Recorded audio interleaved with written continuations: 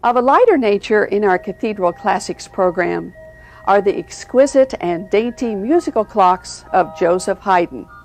Back in the days of Haydn, there were tiny clocks about 12 inches high and 12 inches wide, which composers such as Beethoven, Mozart, and Haydn wrote tiny musical works to be played on the hour and the half hour. The organ comes closer than any instrument to making the sounds that these little clocks made because the organ also contains the tiny wooden pipes.